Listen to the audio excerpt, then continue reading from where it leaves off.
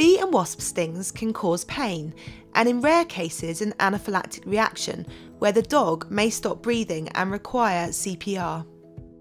Many stings do not cause major reactions, but those near the mouth and airway tend to be more serious.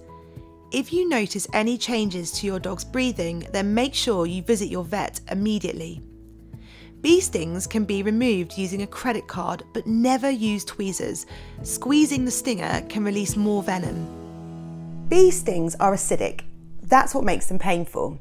So make a paste using bicarbonate of soda and water and apply it to the area, and that can often help with the discomfort. Wasp stings are alkaline in nature. So using vinegar can counteract the pain and help them feel more comfortable.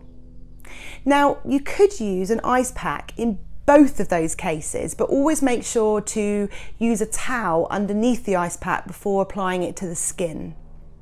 Your vet may choose to use either antihistamines or steroids to help with the reaction.